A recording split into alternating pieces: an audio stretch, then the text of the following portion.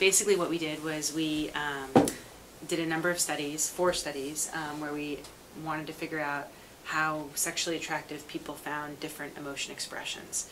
Um, and, and all the studies were a little bit different, but the general thing that was the same across all the studies is that people would see a photo of someone of the opposite sex showing either shame, happiness, pride, or a neutral expression.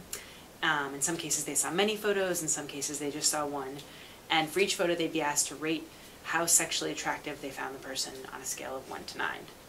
And what we found across all the studies is that there were these really um, pretty major gender differences in what people found to be attractive. Um, so what we predicted and found was that pride was really attractive when shown by men, but actually the least attractive expression when shown by women. Um, whereas happy was exactly the opposite. Happy, when shown by women, was extremely attractive. It was the most attractive by far expression that women could show. Um, but men who showed happiness were actually considered pretty unattractive. And then shame kind of fell in between and was actually considered pretty attractive um, for both genders to show. And the classic example that we keep giving people is James Dean in Rebel Without a Cause, um, or Edward the Edward the Vampire in Twilight. Um, and both those guys look like they're brooding, but really what they're doing, if you look at their nonverbal display, is they're showing the shame expression, where they have their head tilted down, slumped posture, chest kind of turned inward, eye gaze averted or turned downward. Um, and, that, and that's a classic kind of shame expression. And obviously women find that very attractive. Happy guys were significantly less attractive than the proud guys in this one. Um, happy females were significantly more attractive than proud and other emotions. In the second study, it was an online survey. So basically, we had our uh, RAs who are blind to hypothesis collect uh, just as many photos as they could of all these different emotions. So we told them to go out to collect happy pictures, proud pictures, shameful pictures, neutral pictures. And then we kind of compiled them all together in these three different samples. Um, and so we showed a battery of photos. Uh, each, each participant would see all these photos of the different targets and different emotion expressions. And then be asked, um, how sexually attractive do you find this person? From 1 to 9 scale, again, 1 being very unattractive, 9 being very attractive. They would see this guy showing shame here, rate him however they, they felt, uh, however attractive he was click their rating, and then click next. And then they would see the next guy. And this is a, it was in a randomized order, so they'd see shame, pride, happiness, neutrality in just a random order. They would give their next rating, and then see the next photo, another shame, uh, and so forth until they had completed all the ratings of the photos.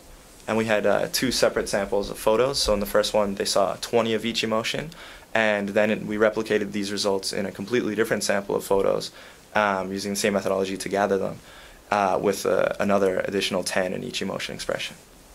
Well, you're talking about attraction and emotions. It occurred to us that you know emotions are shown all the time in pretty much every social situation that there is.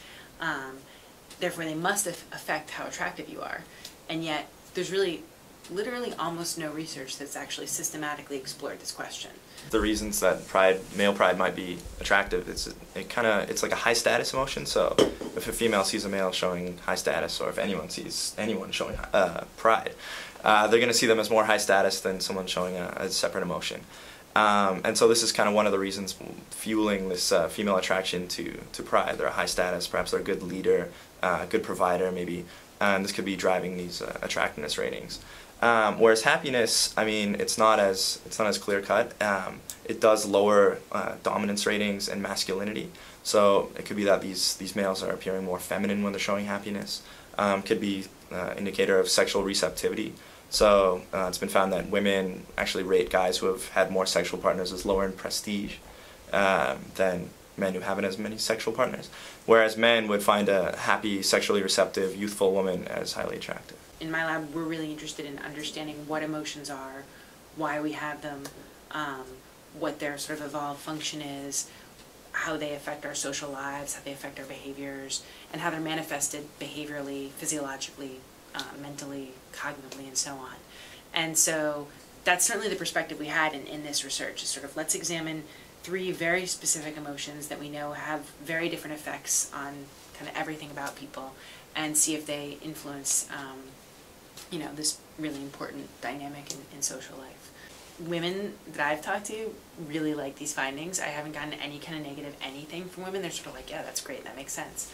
Um, whereas guys are, you know, find it really like, what, you know? Every every guy is like, oh, that's why I haven't gotten any girls.